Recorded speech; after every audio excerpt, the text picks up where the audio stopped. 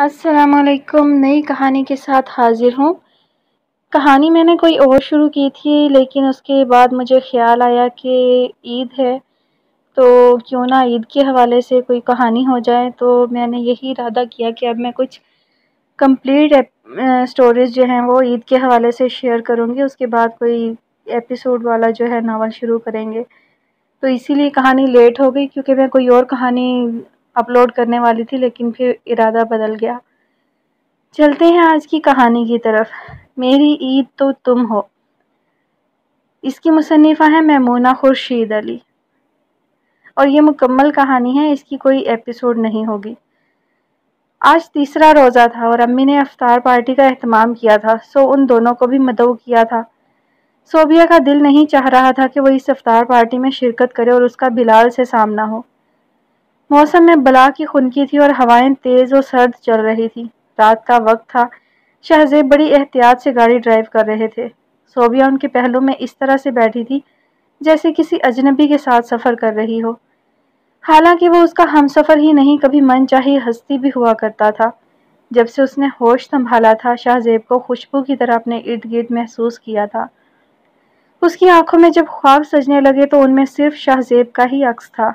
लड़कपन से शूर का जीना तय करने तक उस पर अया हो गया था कि वो अपने तायाजाद से ना सिर्फ़ मंसूब है, बल्कि वो एक अटूट रिश्ते में बाहम दोनों बंधे हुए हैं। शाहजेब का नंबर घर में दूसरा था। नबीला आपा के बाद शाहजेब, फिर रबिया, नूरोलैन और फिर औरंगज़ेब था। नबीला और रबिया की शादियाँ हो चुकी थी। नूर की मंगनी मामों के हाँ हो रही थी। औरंगज़ेब पढ़ रहा था। ताया जान के बाद घर में ही क्या ख़ानदान घर में अपनी समझ बूझ की बदौलत शाहजेब को बड़ी इज़्ज़त हासिल थी। और ये रिश्ता भाइयों के माबेन मजीद मोहब्बत को तर, तरवीज देने के लिए बड़े अब्बा यानी दादा मरहूम तय कर गए थे जिस पर ना किसी को एतराज़ था और ना ही रंजिश और वह खुद भी तो अपनी किस्मत पे नाजाओं फरहा रहती। अनजाने में वो ऐसे शख्स की हो गई थी जो आइडियल कहलाए जाने के काबिल था। लेकिन आन की आन में सारे तस्वुर कैसे ढेर हो गए थे। वो सोच भी नहीं सकती थी कि ये वही शख्स है। रुखसती लेते वक्त बला की हटदर्मी थी उसके अंदाज में, जैसे वो रास्ते से कांटा हटाना चाहते हों और बस।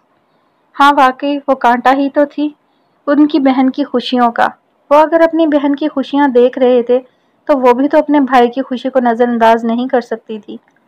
उसका कसूर सिर्फ़ इतना था कि वो तनहा इस रिश्ते की मुखालफत कर रही थी। हती कि बिलाल भी खामोश था, जिसकी ज़िंदगी का सौदा हो रहा था। वो शीशे से बाहर देखने लगी। गाड़ी शहर से बाहर आ चुकी थी और तकरीबन वीरान रास्ते पर गामजन थी। दाएँ बाएँ दरख्तों की कितार सर्दी में मजीद इजाफे का सबब बन रही थी। लेकिन वो एहसास से लाताल्लुक बुत बनी बैठी थी क्यों जैसे मट्टी का मादू हो। बिलाखिर शाहजेब ने इस सन्नाटे को तोड़ा और बड़े रसान से गोया हुआ। सोबिया, सर्दी हो रही है, शाल ले लीजिए। वो हनूज बाहर देखती रही, जैसे उसने सुना ही ना हो। मैं आपसे कह रहा हूँ, अब की बार उनका लहजा कदरे ऊँचा और जताने वाला था।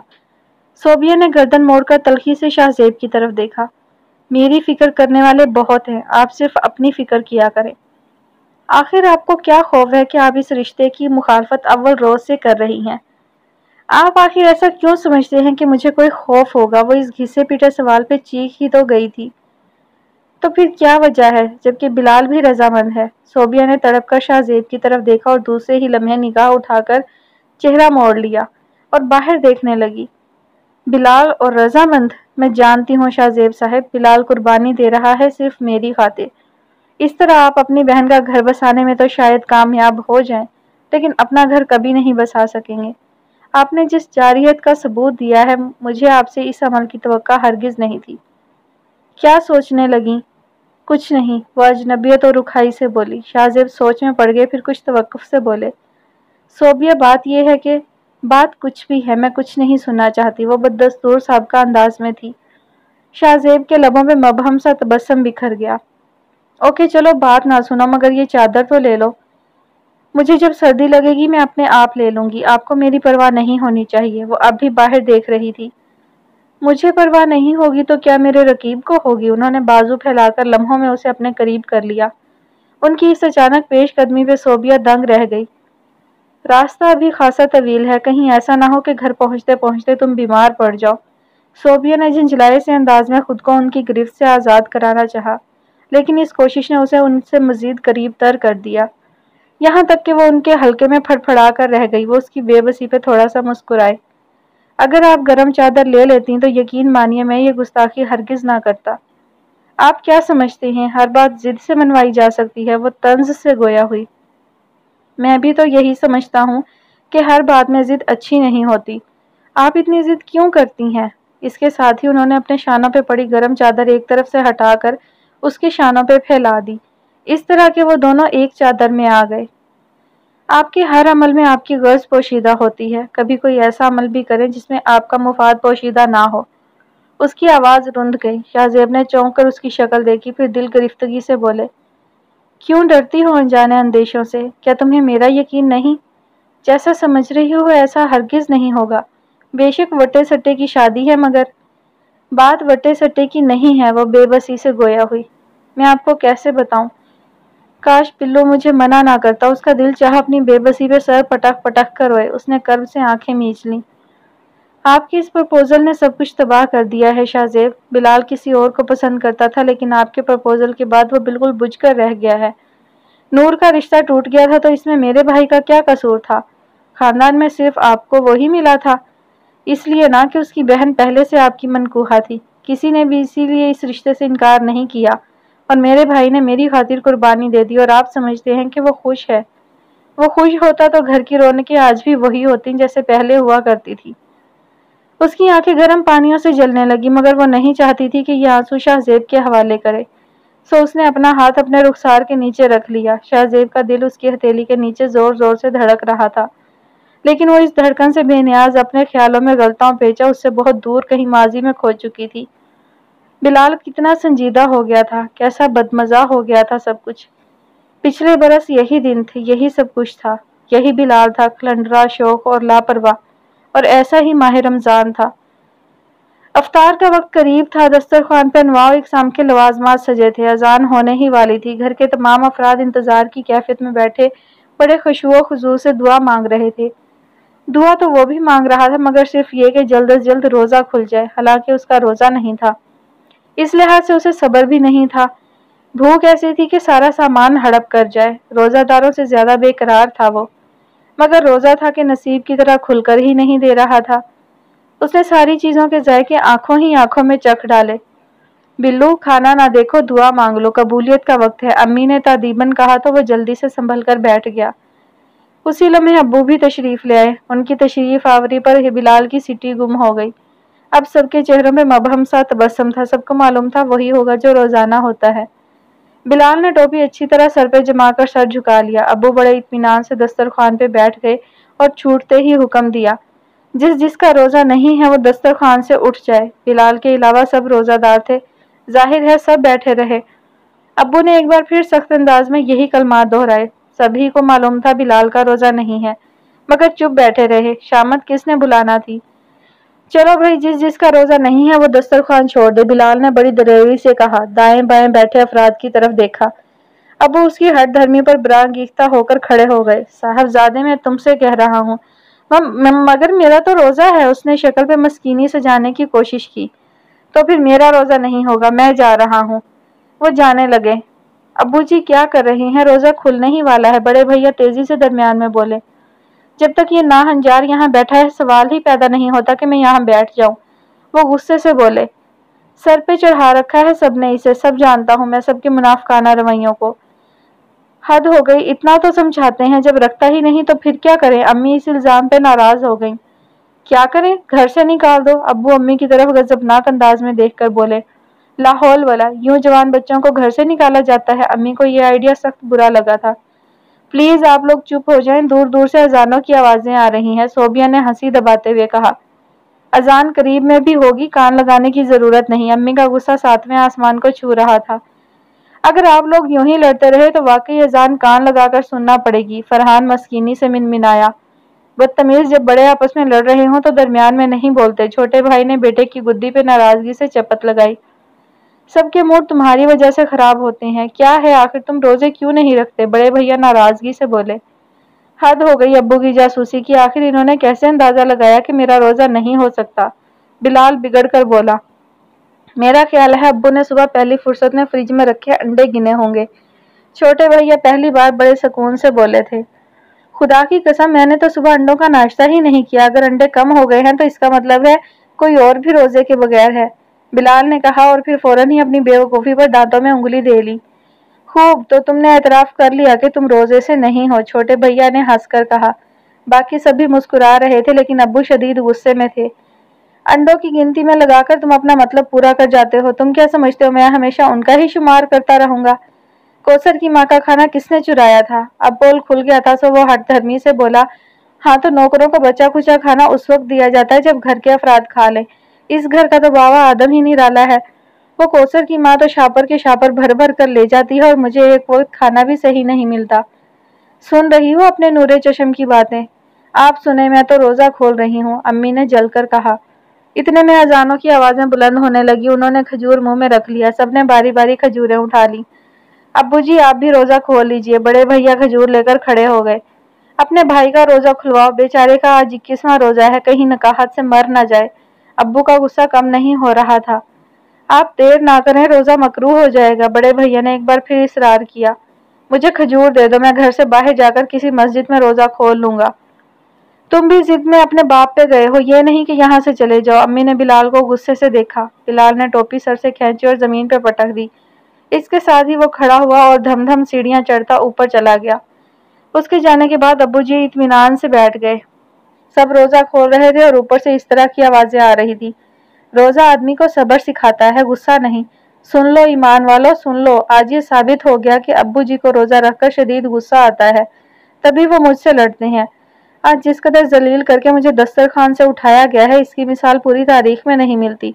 देख लूँगा देख लूँगा। वो नीचे की तरफ़ मुँह करके चिल्लाया, खुदा ने कहा है, किसी का पर्दा फाश ना करो, किसी का भरम ना खोलो, मगर ये कैसे मुसलमान है? हम्म कल मैं भी रोजा रखूँगा और देख लूँगा सबको। वो मैं सहरी पे लेट गया। नीचे से सोबिया की आवाज़ आई। अगर बाआवाज बुलंद सोचने का सिलसिला मौकूफ हो गया हो तो नीचे आ जाओ। अब वो नमाज़ पढ़ने चले गए हैं। जंगी हथियार ताज़ा हैं और मैदान दूर तक खाली। ऐलान शाही सुनना था। दूसरे ही लम्हे वो नीचे था। आज वो दस्तरखान पे इस तरह बैठा था। अगर कहीं अकबर बादशाह उसके अंदाज़ा नशिस्त को देख लेता तो यकीनन अपना सर पीट लेता कि उसने ये अंदाजे शाही क्यों ना अपनाए। हालाँकि उसके पास तो नौर तन भी थे। आज उसने रोजा रखा था। ज़ाहिर है खाने भी आलिशान किस्म के पक्के थे। सुमेरा और हमेरा उसकी फरमाइशें पूरी करते करते थक गई थी। बिल्लू, अगर तुम मामूल से रोज़े रखो तो हमें इतनी मुशक्कत ना करना पड़े। आदत पड़ गई है उनतीस और तीस को तुम्हारे नखरे उठाने की। अब ये दरमियान में तुम क्या कूद पड़े? ये मेरा रोजा नहीं है। अब्बू का बोया हुआ बीज समझो। उसने शाने बेनियाजी से कहा शर्म करो, बिल्लू, रोजा रख लिया है तो अब सवाब तो ज़ाया ना करो। अम्मी कुरान पाक पढ़ रही थी, सख्त बरहमी से बोली, भाई, आज तो बहुत खुशबुएँ उठ रही हैं। बड़े भैया घर में दाखिल हुए और अजीब हैरत से बोले, कहीं आज इफ्तार पार्टी का प्रोग्राम तो नहीं है? आपके भाई ने रोजा रखा है, इससे बड़ी क्या खुशी होगी? भाई, वाह, फिर तो मुझे हार लेकर आना चाहिए था। बिल्लू, हार मंगवाऊं तुम्हारे लिए, वो उसे शर्मिंदा करना चाहते थे। ज़रूर ज़रूर, क्यों नहीं? और अगर हार नोटों के हों तो बात ही क्या है? वो कब शर्मिंदा होने वाला था? उल्टा बड़े भैया ही शर्मिंदा हो गए और वज़ू करने लगे। जब तुम छोटे से थे, तब हमने तुम्हें रोजा रखवाया था। सब रिश्तेदार आए थे और तुम्हें बहुत सारे हार डाले गए थे। वो तोलिया से हाथ पहुँचते हुए दस्तरखान पे आ गए। अफसोस, अगर ये सिलसिला चलता रहता तो मैं ताजीरात पाकिस्तान को ललकार कर कह सकती हूँ कि बिल्लू कभी कोई रोज़ा ना छोड़ेगा। सोबिया ने सामान दस्तरखान पे रखते हुए कहा बड़े भैया हंसने लगे, बिलाल का मुँह बन गया। सारा सामान दस्तरखान पे आ गए इश्तहा, अंगेज, खुशबुएँ और तरह तरह के खाने। कल तो कोसर की माँ की ईद हो जाएगी, छोटे भैया ने दस्तरखान देखते ही कहा। मैं छोड़ूँगा तो कोसर की माँ की ईद होगी, बिलाल ने नदीदे बन की इंतहा कर दी। चाचू, क्या आप ये सब कुछ खा लेंगे? तो और क्या, शहरी के वक्त खाया ही क्या था मैंने? सिर्फ़ दो ढक्कन। ढक्कन? छोटी भाभी को धचका लगा। माजी करीब में उन्होंने अपने जहेज की दो पतीलियाँ निकाली थी। मौसूफ ब्रेड के सबसे ऊपर और नीचे वाले स्लाइस को ढक्कन कहते हैं, उसने हँसते हुए वजाहत की। इससे पहले यह ढक्कन कोसर की माँ खाती रही है, बिलाल ने मजीद मालूम में इजाफा किया।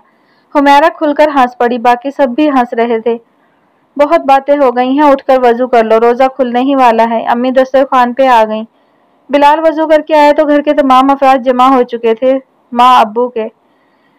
बिलाल के अंदर फूंक भर गई। हुक्मिया अंदाज में बोला, जिस जिसका रोजा नहीं है, वो दस्तरखान से उठ जाए। अब्बू ने दुआया हाथ उठाए हुए थे। घूर कर बिलाल की तरफ़ देखा, फिर कहने लगे, तुम्हारा क्या ख्याल है, किसका रोजा नहीं हो सकता? वो शान बेनियाजी से बैठते हुए बोला, अगर मैंने अंडे गिने होते तो कुछ कहता भी, आज उसके ठाठ ही और थे। गधे और शेर की खुराक में बड़ा फ़र्क होता है। खामोशी से बैठ जाओ गधे। बिलाल जज्बज हो गया। फिर बदला लेने की गर्ज से बोला किसी मुसलमान को गधा कहना जरा सी भी शराफत नहीं, और वो भी एक रोजादार को, तोबा तोबा। चूँकि आज मेरा रोजा है, सुबह ही मौलवी साहब बता रहे थे, जब कोई तुमसे लड़ने लगे तो ये कहकर चुप हो जाओ, मैं रोज़े से हूँ। अगला खुद ही चुप हो जाएगा। अगला? बाप को अगला कहता है, बदतमीज ना हंजार लगता है तुम्हें रायविंड भिजवाना ही पड़ेगा, अब्बू गुस्से में आ गए। ये तहजीब सिखलाने की कोई नई जगह दरियाफ्त हुई है, वो मासूम बना। नई जगह नहीं है आजमुदा जगह है। अबू ने उसे सख्त खशमगी निगाहों से देखा। तुम्हारा किबला भी दुरुस्त हो जाएगा और मुसलमान के बच्चे बनकर आओगे। मुसलमान का बच्चा बनने के लिए ज़रूरी है बाप रायविंड जाए, कि बच्चा खुद ब खुद मुसलमान बन जाएगा। अब्बू उसकी जरूरतमंदाना बात पे बिलबिला उठे। कुछ कहना ही चाहते थे, अम्मी दरमियान में जल्दी से बोल पड़ी। दुआ मांग लीजिए, रोजा अफ्तार होने वाला है। आहा, हो हो, मर गया, हाय, मर गया। वो बिस्तर पे पड़ा करा रहा था। बिल्लू, एक बात बताओ, जब तुम रोजा खोल रहे थे तो तुम्हारे दिमाग में क्या ये ख्याल था कि तुम जितना ज़्यादा खाओगे, उससे तकलीफ़ तुम बजाय तुम्हें होने के अब्बू को होगी? हाँ शायद ऐसा ही कुछ था, उसने एक इकबाल जुर्म किया। अब भुगतो, मेरे बाप के बारे में बुरा सोचने वाले का अंजाम ऐसा ही कुछ होना चाहिए था। सोबिया उसे चाय देकर कमरे से बाहर निकल गई। मौसम आया है सर्दी का, दौर चले नारंगी का। बाजी छील के लाती है, नमक लगा के खाती है। जो देखे मुँह में पानी आए, बीच अपना भी जी लल जाए। वो बैठा हुआ मौसमिया खा रहा था और कौसर की माँ छिलके समेट समेट कर तंग आ गई थी। पड़े रहने दो कौसर की माँ, क्यों परेशान होती हो? एक बार ही उठा लेना। कौसर की माँ दूसरे कामों में लग गई। अचानक उसे ख्याल आया तो कहने लगा, लो और सुनो, कोई नाम ना मिला लेकर कौसर की माँ ही रख दिया। इससे पहले मुझे अंदाज़ा नहीं था दुनिया में नामों का इतना कहत भी हो सकता है। दो औरतों का एक ही नाम इतनी पॉलिसी से इस्तेमाल हो रहा है कि दाद देने को जी करता है। एक बात बताओ कौसर की माँ, शादी से पहले लोग तुम्हें क्या कहते थे? कौसर की माँ झीप गई, शर्माते हुए बोली, बिटवा वैसे तो मेरा नाम शमशाद है, बाद में कौसर की माँ पड़ गया तो ऐसा पड़ा कि सब असली नाम ही भूल गए।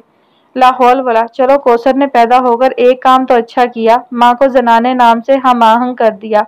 लो, बताओ, जब तुम्हारे शोहर ने तुम्हें कबूल किया होगा तो मौलवी साहब यही समझ रहे होंगे कि वो एक मर्द का निकाह दूसरे मर्द से करा रहे हैं। बिलाल हसब मामूल शुरू था। कौसर की माँ शादी की बात पे पूरी तरह से शर्मा गई। अरे, छोड़ो बिटवा, क्या बातें ले बैठे, वो तेज़ी से काम समेटने लगी। उसी लम्हे एक नया शगुफ्ता चेहरा बैरूनी दरवाजे से दाखिल हुआ। बिलाल की आँखें फैल गईं। लड़की थी या किसी शायर की गज़ल। लड़की ने बड़ी हैरत से माह रमज़ान में उसे खाते हुए देखा। बिलाल ने खिसे आकर अपनी कमीज का दामन मौसमियों पर गिरा लिया। लड़की छिलके देखने लगी। वो पाँव से छिलके सोफे के नीचे करने लगा। मेरा ख्याल है आप सिर्फ़ मुँह पहुँच लें। लड़की उसकी कोशिश को सराहते हुए बोली तो बिलाल अपनी जगह से खड़ा हो गया। ये इफ्तार मामू का घर है। है तो इफ्तार का घर। मामू आपके होंगे। वो बड़बड़ाया, फिर जल्दी से बोला, जी हाँ। इफ्तार मामू हैं घर पे, लड़की ने इधर उधर देखकर पूछा, ना जाने ये अब्बू की कौन सी भांजी है? बिलाल को अपनी मालूम बहुत महदूद लगी। आइए बैठिए, उसने लड़की को बैठने का इशारा किया। लड़की ठिठक कर रुक गई। फिर सोफे के पास पड़े छिलके देखकर बोली आई एम सॉरी छिलके ताज़ा हैं। इंसान अगर जाए वो कुआ पे बैठ जाए तो वारदात उसी के गले पड़ जाती है। आप मुझे मामू के कमरे में पहुँचा दें। बिलाल को लड़की से बेहद शर्मिंदगी महसूस हुई। रोज़ा ना रखने की शर्मिंदगी इससे पहले कभी नहीं हुई थी। अबू तो इस वक्त ऑफ़िस में होते हैं। अच्छा लड़की मायूस हो गई। उसी लम्हे सोबिया कमरे से बाहर निकली। उसे देखकर हैरत और खुशी से उसकी आँखें फैल गईं। अरे शर्मीन तुम? अगले ही लम्हे दोनों एक दूसरे से लिपट गईं। कब आई? सोबिया ने उसे खुशी से देखा। बस अभी अभी आई हूँ शर्मीन ने मुस्कुराते हुए बताया। आओ, अम्मी के पास चलें। तुम बिलाल से तो मिल ही ली होगी। शर्मीन ने बिलाल की तरफ़ देखा, फिर मौसमियों के छिलकों की तरफ़।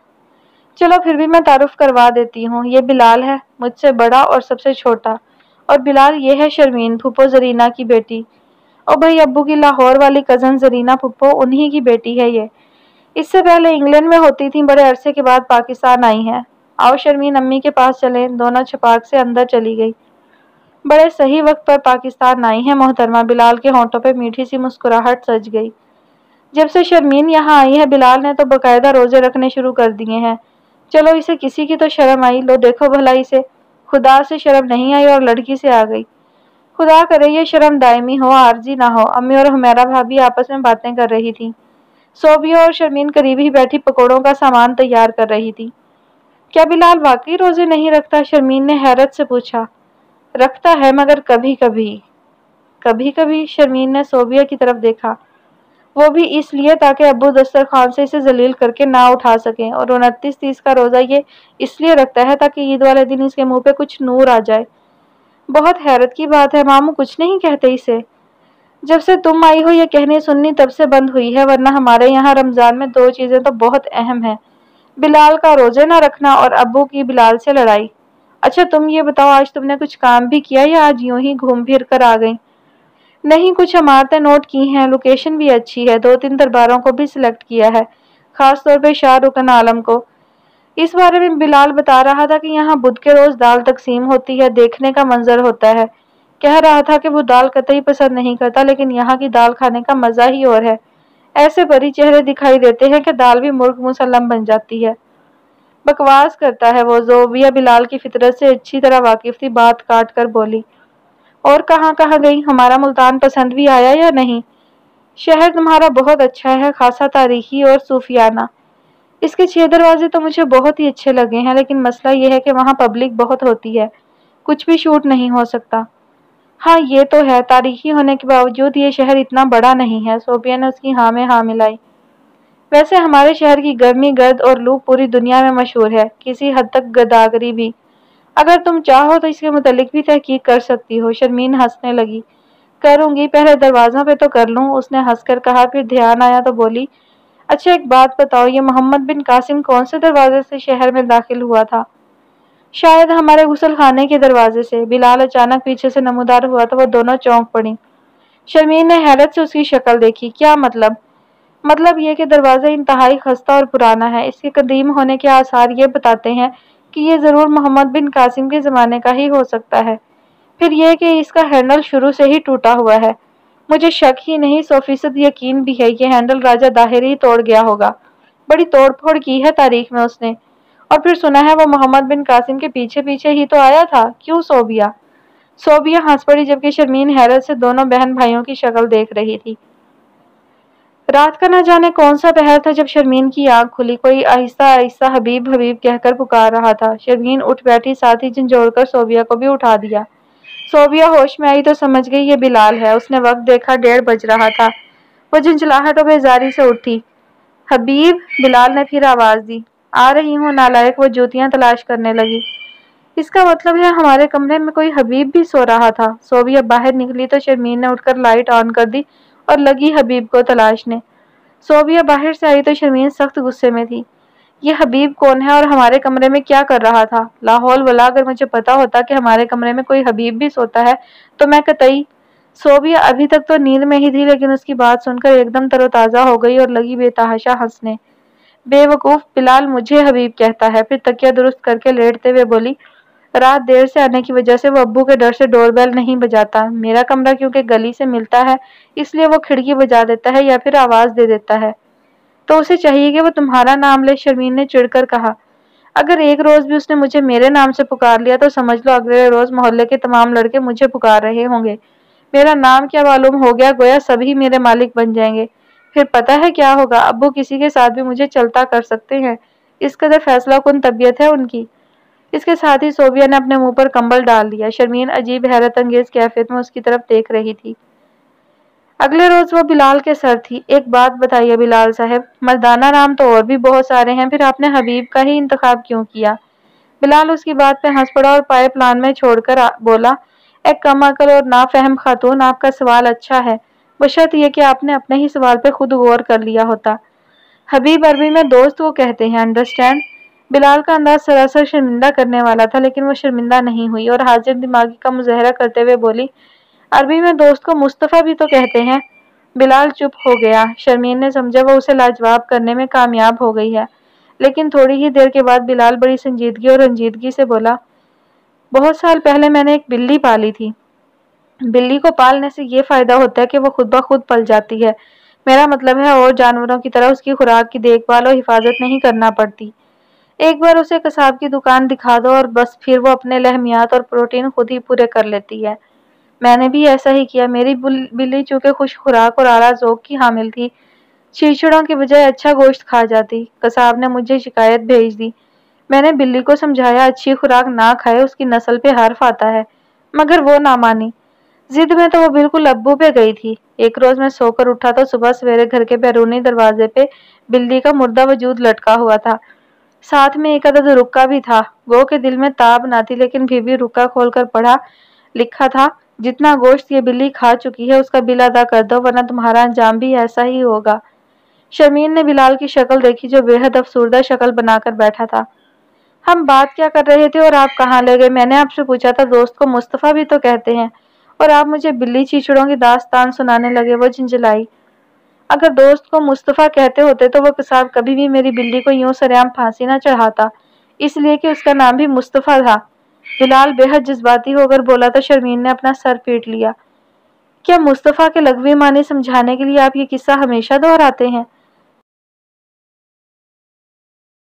बिलाल शर्मिंदा सा हो गया। हालाँकि बिलाल और शर्मिंदगी दो मतजाद चीज़ें थीं। सोबिया अंदर से नमोदार हुई और उनके पास बरामदे की सीढ़ियों में बैठते हुए बोली बिल्लू, आज तुम हमें बाज़ार लेकर चलोगे? वो क्यों? बिलाल ने अबरू उचकाकर हैरत से सोबिया को देखा। इसलिए कि ईद आने में सिर्फ़ दो दिन बाकी हैं, वो मज़े से बोली। तो क्या तुम स्टेशन पे ईद को रिसीव करने जाओगी? ओहो, बिल्लू, मैंने अभी तक चूड़ियाँ भी नहीं खरीदी, मेहंदी भी नहीं ली, वो ठनक कर बोली। सुकून से बैठो, तुम्हारे ससुराल से आने ही वाली है तुम्हारी ईदी, बिलाल ने दामन छुड़ाया। खातिर जमा रखो, इस बार वहाँ से ईदी नहीं आएगी क्योंकि उनकी खाला का इंतकाल हो गया है। हो सकता है वो लोग इस बार ईद ना मनाए सोबिया अफसुर्दगी से बोली। सदकी जाऊँ तुम्हारी दूर अंदेशी के बायदा वे ये अफसुर्दगी ईदी ना आने की है या खाला की वफात की? बको नहीं, अब तुम हमें लेकर चल रहे हो ना? वो इठलाई ईद के तस्वुर से वो एक्साइटेड हो रही थी। ये हमसे क्या मुराद है तुम्हारी? बिलाल को खतरे की बू महसूस होने लगी। मैं शर्मीन, हुमैरा और सुमेरा भाभी और बस मेरी मोहल्ले की दो तीन सहेलियाँ। वाट बिलाल चकरा गया, फिर गुस्से में उसकी नकल उतार कर बोला, और बस मेरी मोहल्ले की दो तीन सहेलियाँ भी। किस खुशी में चल रही हैं आपके साथ? क्या उनके ससुरालों में भी इंतकाल हो गए उनकी खाला ससों के? बिल्लू प्लीज़ देखो, अब तो मैंने उनसे कह भी दिया, वो मिन्नत भरे अंदाज में बोली। बिलाल ने कनखियों से शर्मीन की तरफ़ देखा, जो शौक से उसकी तरफ़ देख रही थी।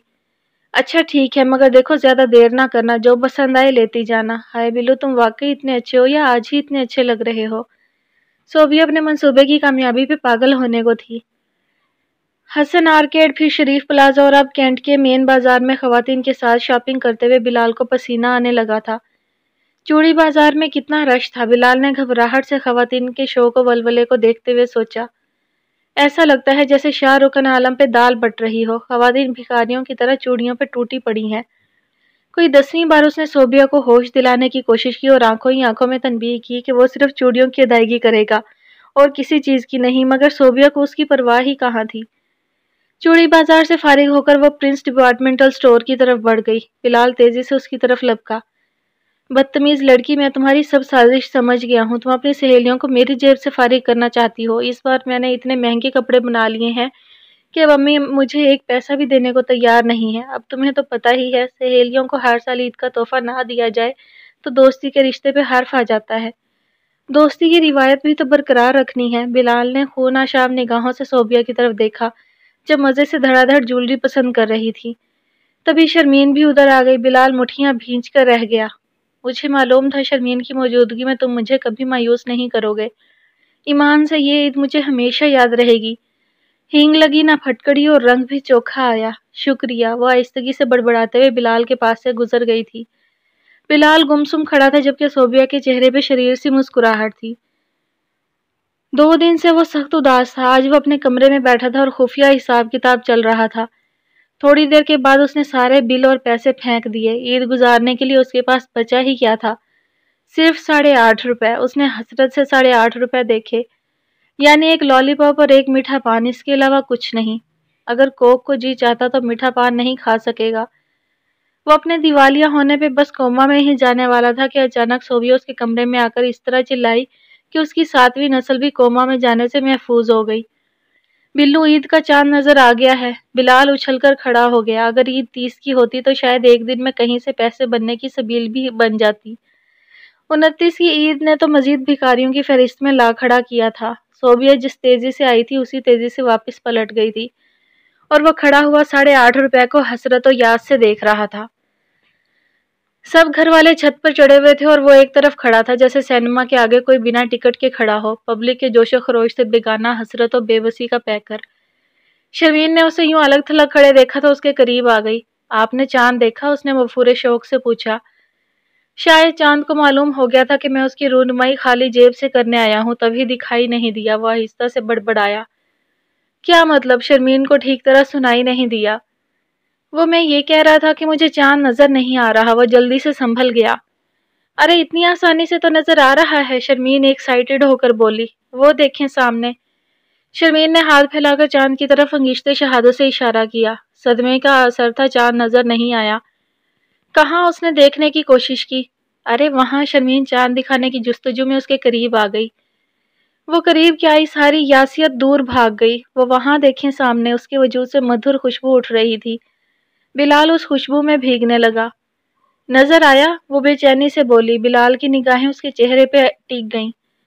खूबसूरत राशिदा बालों की ओर से उसका चेहरा थोड़ा थोड़ा झांकता हुआ बहुत प्यारा लग रहा था। अब नज़र आया शर्मीन की निगाहें चाँद पे जमी थी, बिलाल की निगाहें उसके चेहरे पर। इससे पहले मुझे अंदाज़ा नहीं था, स्याह बादलों की ओर से झांकता चाँद इतना खूबसूरत दिखाई देता है। ओहो, आप कहाँ देखने लगे? शर्मीन ने झंझलाकर उसकी तरफ़ देखा तो वो अलर्ट हो गया। कहाँ? बिलाल ने आँखें सुकेड़कर देखना चाहा और कुछ इस तरह से झुका कि शर्मीन के बाल उसके चेहरे को छूने लगे। चाँद तो उसे नज़र आ गया, लेकिन वो दानिस्ता अनजान बना रहा। शर्मीन बेचैन हो गई, जैसे अब चाँद दिखाकर ही दम लेगी। कहने लगी, मेरी तरफ़ देखें। आपकी तरफ़ ही तो देख रहा हूँ शर्मीन चाँद दिखाने की जस्तजू में थी, इसलिए उसके लफ्जों पर गौर ना कर सकी। वो सामने नीम का दरख्त नज़र आ रहा है, उसके पीछे मस्जिद है। बिल्कुल उसके ऊपर छोटा सा सितारा चमक रहा है। उसके पास अब नज़र आया, शर्मीन ने निशानदही करके बिलाल की तरफ़ देखा। वो मुश्ताक अंदाज में उसकी तरफ़ देख रहा था। शर्मीन की भमें तन गई। कहाँ देख रहे हैं आप? चाँद की तरफ़ मगर नज़र नहीं आ रहा। वो बौखला गया। शर्मीन उससे दूर हटकर खड़ी हो गई। फिर करख्त लहजे में बोली, माफ़ कीजिएगा, अब मैं आपको गोद में लेकर तो चाँद दिखा नहीं सकती। ये कहते हुए वो दूसरी तरफ़ उन सब लोगों के पास आ गई। सोबिया मुसलसल उन्हीं की तरफ़ देख रही थी और हैरान थी बिलाल की चालाकियों पे। क्योंकि शर्मीन ने चाँद सबसे पहले देखा था इस लिहाज से वो सबसे ज़्यादा खुश थी, लेकिन अब उसका मुँह फूला हुआ था। बारी बारी सब लोग नीचे चले गए सोबिया बिलाल के करीब आ गई। ये चाँद देखने दिखाने का कौन सा तरीका है? वो बिलाल को घूरते हुए बोली, मगर वो ढिटाई से हंस रहा था। फिर कान खुजाते हुए बोला, हुकूमत पाकिस्तान की जमानत से जारी हुआ है। बिलाल ने शरारत से आँख दबाई और सीढ़ियाँ उतरकर नीचे भाग गया। सोबिया का मुँह खुला का खुला रह गया। अगले ही पल वो भी नीचे थी। ईद का दिन मुसरतों से लबरेज था। नमाज़ ईद के बाद और भी हंगामा पैदा हो गया। बिलाल हर एक से लड़ झगड़ कर ईदी वसूल कर रहा था। भाभीियों से अलहदा और भाइयों से अलहदा। अम्मी से ईद लेने के बाद जब वो अब्बू की तरफ़ बढ़ा तो उन्होंने ईद मिलकर ईदी ना देने की झंडी दिखा दी। ये बेईमानी है। ईदी तो मुसलमानों का हक है। अम्मी ने बेटे की हिमायत की। बशर्त ये कि मुसलमान रोज़े भी रखते हों। उन्होंने फ़ौरन जवाब दिया। इस बार पूरे पंद्रह रोज़े रखे हैं मैंने। वो तुरम खान बना। बाकी पंद्रह क्या आपके ससुरालियों ने रखने थे? इक्कीस रोज़े तो मैंने रखे हैं, चाचू। दस साल जीशान दरमियान में बोला तो बिलाल जल गया। तुम दरमियान में कहाँ से आ गए ये मेरा और मेरे अब्बू का मामला है। जी नहीं, ये तुम्हारा और तुम्हारे अल्लाह का मामला है। वो भी इनाम सिर्फ़ उनको ही देता है जो बिना उजर रोज़े नहीं छोड़ते। ये कहते हुए वो उसके पास से गुजर गए। बिलाल का मुँह बन गया। मुझे याद नहीं पड़ता कि आज तक अब्बू ने मुझे ईदी दी हो। इसी बात से अंदाज़ा लगाओ कि तुम कब से रोज़े नहीं रख रहे हो सुमेरा भाभी ने नोमी के बाल संवारते हुए कहा।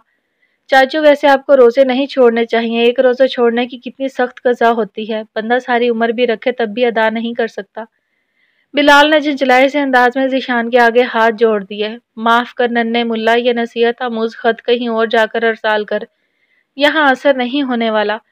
इसके साथ ही वो वहाँ से खिसक लिया। किचन में आया तो शर्मीन खीर के बर्तन ट्राली में रख रही थी। गोल्डन सिल्क का सूट जिसपे मैरून एप्लिक दबके का नफीस काम हो रहा था। गोल्डन टिश्यू का बड़ा सा दुपट्टा गो के बाल कटे हुए थे, लेकिन फिर भी उसने जैसे तैसे उसमें चोटियाँ डाल रखी थी।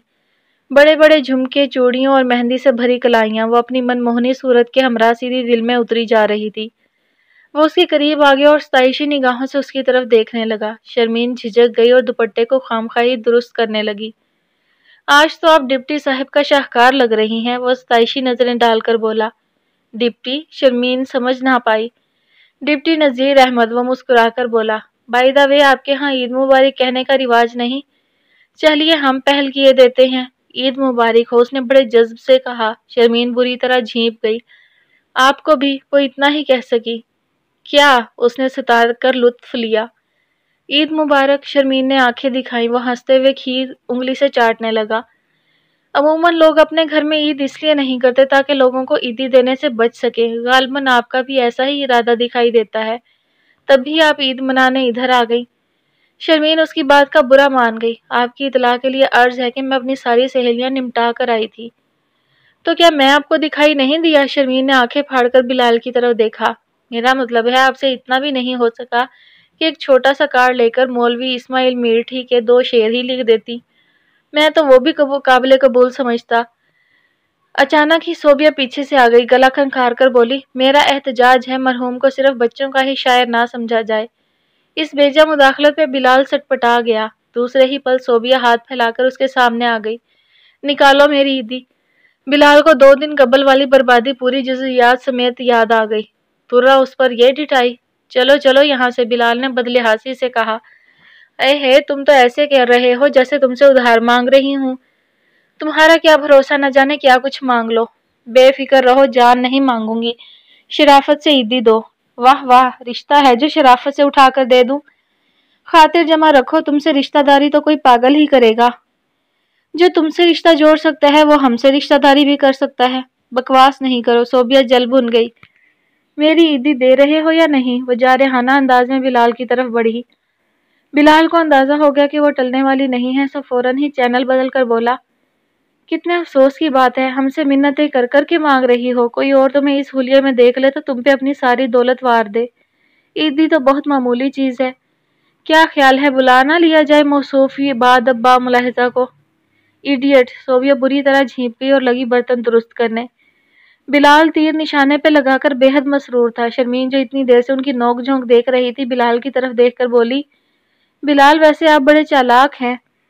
तो ये कौन सी छोटी चालाक है? देखो देखो इसकी तैयारी को। ज़रूर ज़्यादा माल हथियाने का इरादा है, तभी तो इतनी नक्सक से तैयार हुई है।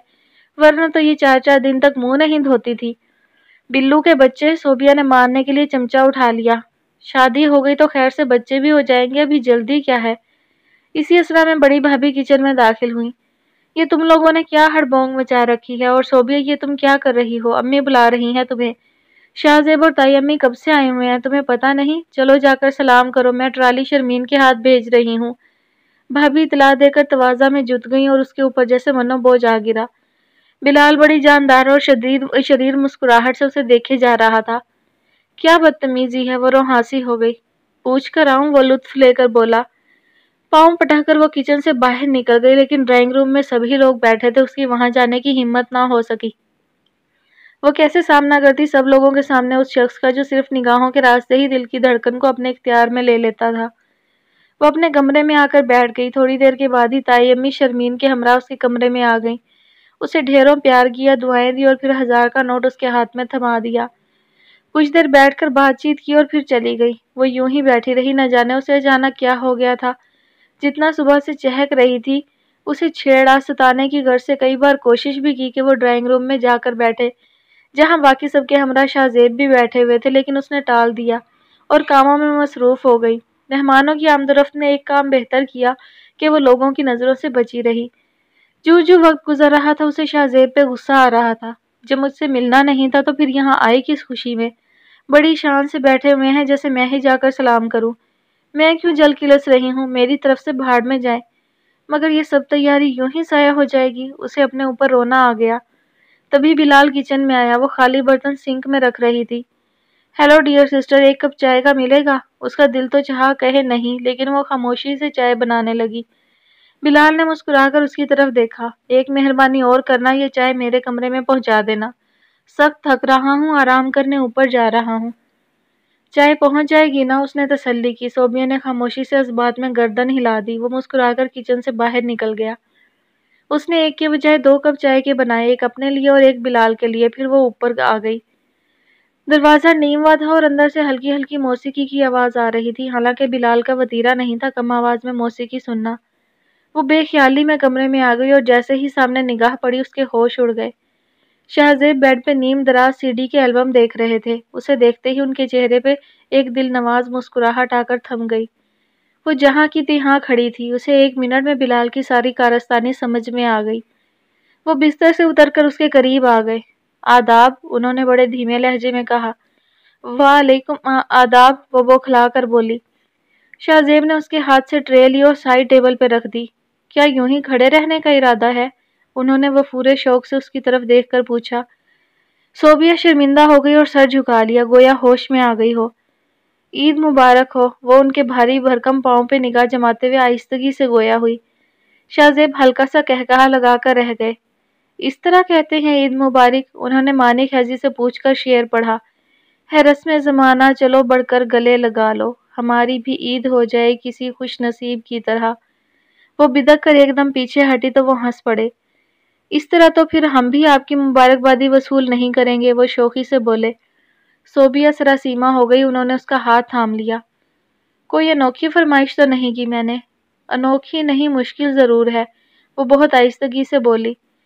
चलिए, ये मुश्किल मैं दूर कर देता हूँ। वो एक कदम आगे बढ़े, सोबिया लम्हों में दस कदम पीछे चली गई।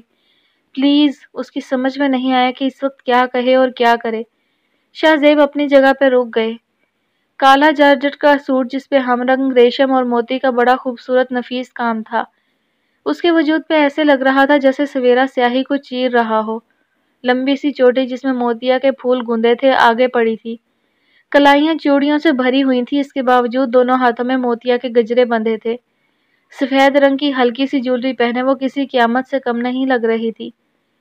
ये ज्यादती है, वो उसे अपनी नज़रों के हिसार में लेते हुए खफगी से बोले। सोबियत जूं की तू खड़ी रही। बंदा आदाब से वाकिफ ना हो तो कम अज़ कम मेहमान नवाज़ तो होना चाहिए। इतने लंबे सफ़र की थकन सिर्फ़ एक चाय के कप से तो नहीं उतर सकती। आपने अभी तक खाना नहीं खाया? सोबिया ने अपने तई बड़ा माकूल सवाल किया था। शाहजेब उसकी बेवकूफ़ी पे ज़ोर से हंस पड़े। वो उसके करीब आ गए, फिर कई लाल हरे नोट उसके हाथ पकड़ाकर मलायमत से उसके हाथ में थमाते हुए बोले, सूरज तू या चाँद, तुझे क्या तोहफा दूँ ईद का? शुक्र है इस दिन मिल जाता है मौका तेरी दीद का। सोबिया रुपयों की तरफ़ होंकों की तरह देखने लगी। इन सब का मैं क्या करूँगी? वो एकदम इतने सारे पैसे देखकर घबरा गई। कश्तियाँ बनाकर पानी में चलाना बड़ा लुत्फ आएगा। शाहजेब ने फ़ौरन मशवरा दिया तो सोबिया मजीद शर्मिंदा हो गई।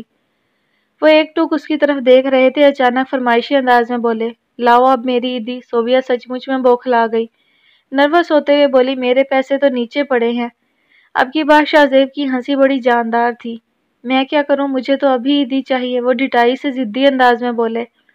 सोबिया ने वही पैसे जो शाहजेब ने दिए थे उनकी तरफ़ बढ़ा दिए। ये क्या? हमारे ही पैसे और हमें ही वापस किए जा रहे हैं। वो बुरी तरह से शर्मिंदा हो गई। रोहासी होकर बोली, मैं क्या करूँ? मेरे पास तो इस वक्त कुछ भी नहीं है। शाहजेब की निगाहें उस पर टिक गईं। मधुर और बेखुद लहजे में कहने लगे, है तो बहुत कुछ। ये और बात है कि देने में कंजूसी कर रही हो। वो थोड़ा करीब आ गए।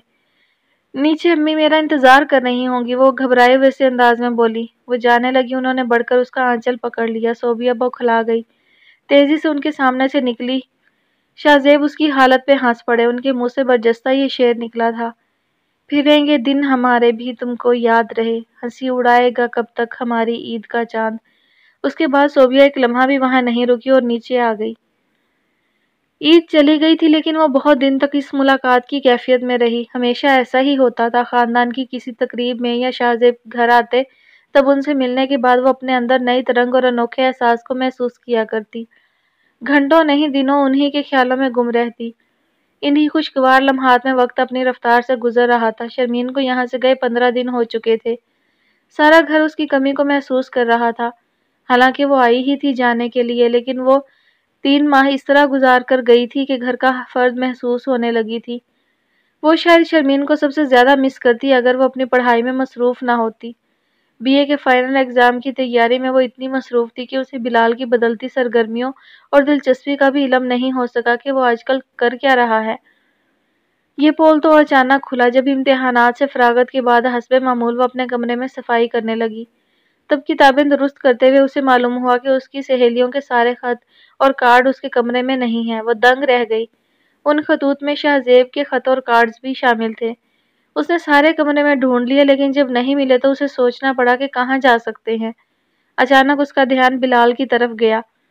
वो अक्सर उसे सताने की गर्ज से या अपना मतलब निकलवाने के लिए उसकी पर्सनल डायरी या उसकी सहेलियों के खत छुपा दिया करता था। अब इसे क्या तकलीफ़ थी? वो दन दनाती हुई बिलाल के कमरे में आई और देखकर दंग रह गई। वो बड़े मज़े से उसके खत पढ़ रहा था। वो चील की तरह उस पर झपटी। बिल्लू के बच्चे, ये क्या बदतमीजी है? वो गुस्से से लाल पीली हो रही थी। बिलाल एकदम संभल गया, लेकिन ज़रा भी शर्मिंदा नहीं था। कहने लगा, अबू कहते हैं मुताल करने से इंसान की मालूम वसी होती हैं।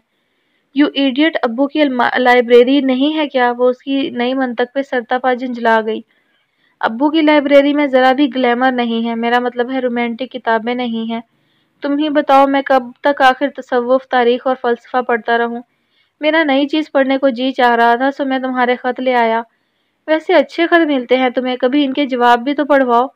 बिल्लू, वो चीख पड़ी, तुम्हें शर्म नहीं आती ऐसी रकीक हरकत करते हुए? जानते हो ये इखलाकन जुर्म है। ओहो तो मैंने अभी कौन सी नकल की है तुम्हारे खदूत की? बस देखा ही तो है। सच्ची और बाकीज़ा मोहब्बत में ख़तो किताबत किस तरह की होती है? वो मासूमियत से बोला, सोबियाँ होंकों की तरह उसकी शक्ल देखने लगी। यानी फिर कोई नया चक्कर चला रहे हो? नया नहीं, आखिरी। बिलाल संजीदगी से बोला तो सोबिया दंग रह गई। इस वक्त वो फ्लर्टी बिलाल नहीं, बल्कि बहुत संजीदा लग रहा था। वो कश्मकश में मुबतला हो गई। लेकिन फिर उसकी बात तो ढोंग समझते हुए अपनी चीज़ें समेटने लगी। अब तो मैं तुम्हें माफ़ कर रही हूँ। अगर आइंदा तुमने मेरे साथ ऐसी हरकत की तो मैं सीधा अब्बू को शिकायत कर दूँगी, समझे? वो गुस्से से फुनकारती हुई कमरे से बाहर निकल गई। कितना बदतमीज इंसान है ये। वो जज्बज होती रही, दो दिन तक उससे नहीं बोली। तीसरे दिन बिलाल खुद ही उसके कमरे में आ गया। सोभिया और तुम्हें मैं आइसक्रीम खिलाकर लाता हूँ। वो बड़े हशाश बशाश मूड में था।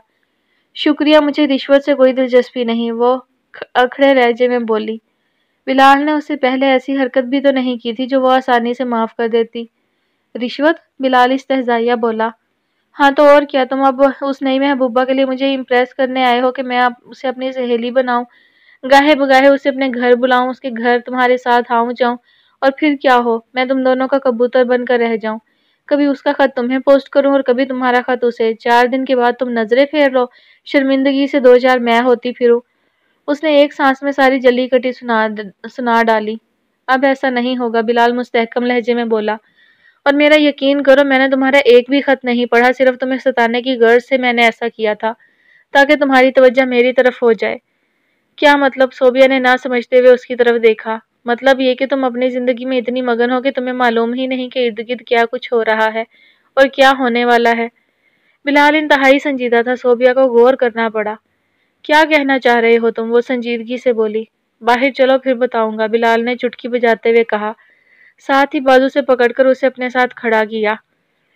रेंज से निकलते हुए सोबिया एक नई दास्तान से आगाह हुई थी। बिलाल ने उसे जो कुछ सुनाया था, वो उसके लिए बिल्कुल अचंबे का सबब नहीं था।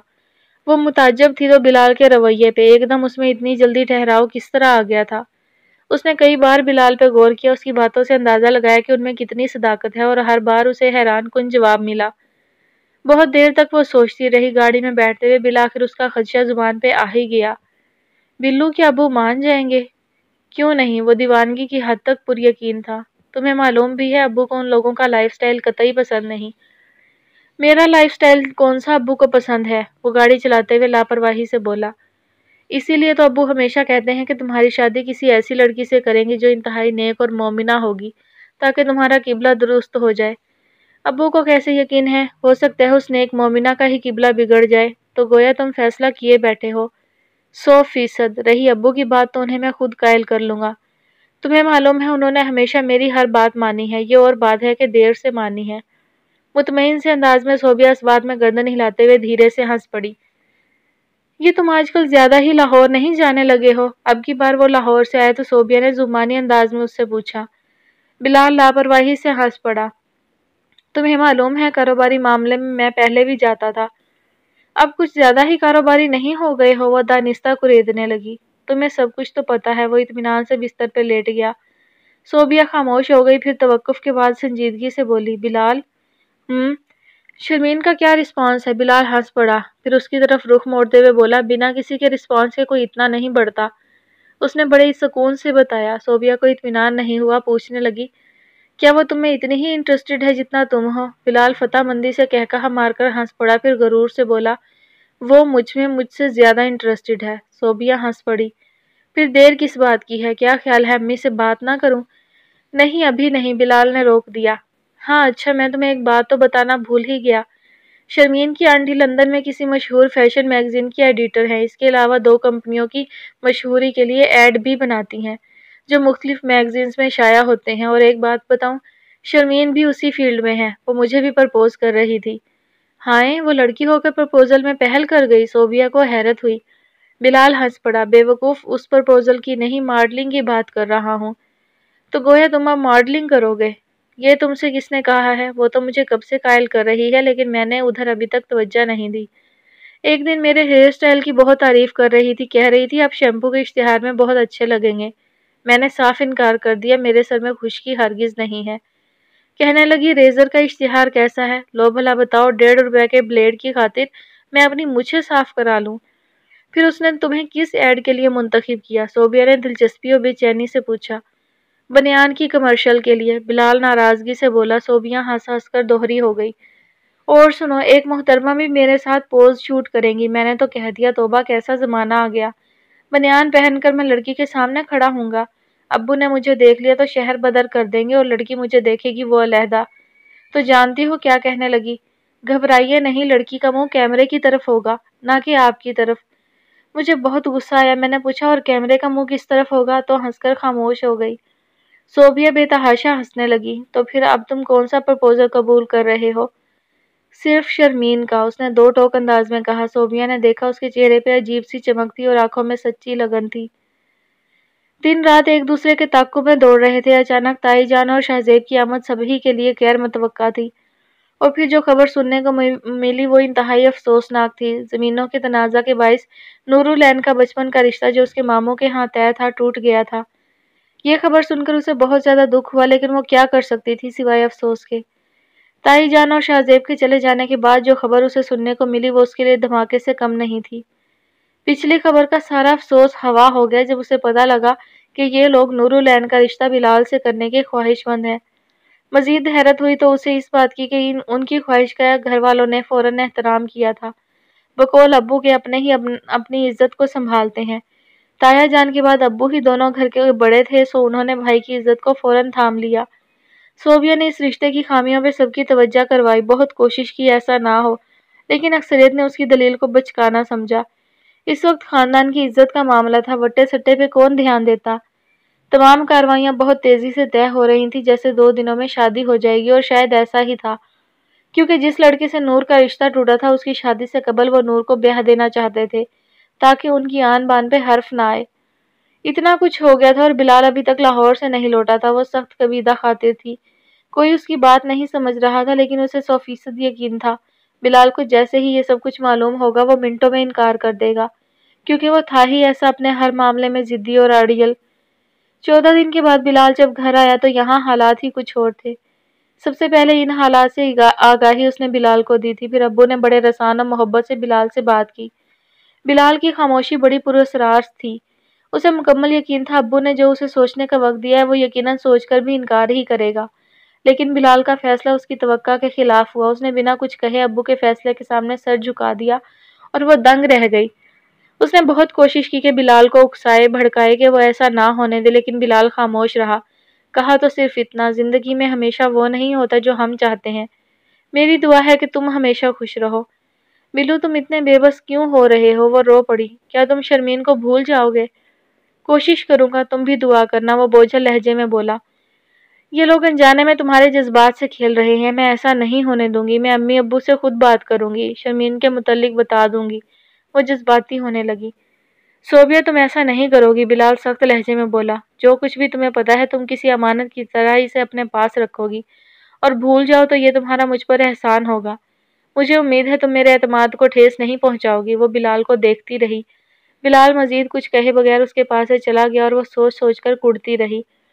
मेरी खातिर बिलाल तुम इतनी बड़ी कुर्बानी दे रहे हो, सिर्फ़ मेरी खातिर। वो सर घुटनों पर रखकर बेतहाशा रो पड़ी। ये बात उसे बुरी तरह खटक रही थी कि ये सब कुछ उसका रिश्ता बरकरार रखने के लिए हो रहा था। अगर ऐसा ना होता तो घर वाले इनकार भी कर सकते थे। यानी उन्हें अपनी बेटी के रिश्ते का खतरा था, सो उन्होंने कुर्बानी दे दी। उसकी मुखालफत गाहे बगाहे सबके सामने आती रही थी और ये नापसंदीदगी शाहजेब के घर वालों तक भी उनकी बहनों के ज़रिए पहुँच गई। वो मुसर थी ये जतलाने पर कि जल्दबाजी की ये रिश्तेदारी आगे जाकर नुकसान का सबब बनेगी। इस बात का नतीजा क्या हुआ कि उन लोगों ने अचानक रुखसती का मुतालबा कर दिया। इधर क्या देर थी? जैसे ही उन्होंने रुखसती मांगी, शादी की तैयारियाँ शुरू हो गईं। हालाँकि इरादा यही था कि बिलाल की शादी अलबत्ता बिलाल और नूर की मंगनी बड़ी धूमधाम से रुखसती के दिन ही तय पाई थी। इस जल्दबाजी के अमल ने उसके अंदर मजीद नफरत पैदा कर दी थी। सारे ख्वाब चकनाचूर हो गए थे। शाहजेब की दहलीज पर कदम रखते हुए माँ सिवाय उसके दिल में नफरत और बगावत की और कुछ ना था। गाड़ी घर के सामने रुकी तो शाहजेब ने वक्त देखा। ग्यारह बज रहे थे, तकरीबन साढ़े तीन, चार घंटे का सफ़र था। रोज़ा अफ्तार करने के बाद वो आराम करने के आदि थे। इस लंबे सफ़र ने उन्हें तकरीबन थका दिया था। उन्होंने सोबिया की तरफ़ देखा, जो मज़े से उनके सीने पर सर रखे सो रही थी। किसी मासूम बच्चे की तरह। शाहजेब के लबों पर मुस्कुराहट बिखर गई। कहाँ तो उनकी शक्ल देखना गवारा नहीं करती थी और अब किस कदर पुरसकून नींद उनकी कुर्बत में ले रही थी। उनका दिल चाह के वक्त यहीं थम जाए। मौसम भी सुहाना था और महबूब भी करीब था। वो उसके बालों में उंगलियाँ फेरने लगे। कितनी जिद्दी और बदगुमान हो गई थी सिर्फ़ एक फैसले की वजह से।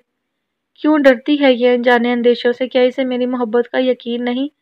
उन्होंने सोचते हुए उस पर नज़र डाली। वो किसी इतमान से बेखबर सो रही थी। शाहजेब के दिल को कुछ हुआ। बहुत देर तक वो अपने दिल को बेईमान होने से रोकते रहे। लेकिन कब तक? वो उनकी मलकियत थी और मुकम्मल उनके इख्तियार में थी। जैसे ही ये एहसास गालिब आया, उन्होंने झुककर इस्तेकाक भरी शरारत कर डाली। सोबिया ने यकलक तड़प कर आँखें खोल दी। उसके चेहरे पर बड़ी जानदार मुस्कुराहट थी। सोबिया की आँखों में जहाँ बेपना नींद का खुमार था, वहाँ हया के साथ खफगी भी नुमाया थी।